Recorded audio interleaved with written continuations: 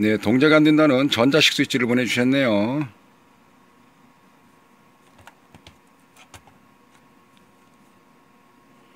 내부를 살펴보도록 하겠습니다.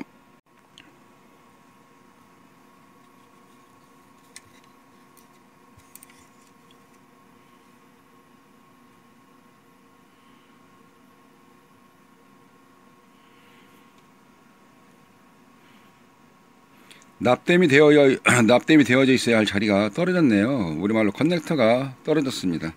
아마 잘 안 되니까 분해 한번 해보자 하고 덮개를 열면서 이게 떨어져 나온 것 같습니다.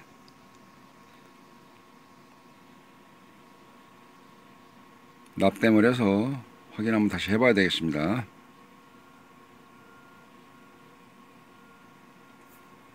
네, 수리를 마치고 이제 전기를 꽂아서 불은 들어오는지 동작 상태를 살펴보도록 하겠습니다. 네, 부팅되고 있죠. 네, 전혀 불이 들어오지 않은 네, 그런 상태였었는데 네, 릴레이 딸꾹딸꾹 붙고요. 네, 잘 됐네요. 네, 천천히 돼도 네, 터치 잘 되고 있습니다. 이제 뺐던 자리 잘 찾으셔서 연결 안전하게 하시고 편안하게 사용하시 기 바라겠습니다. 감사합니다.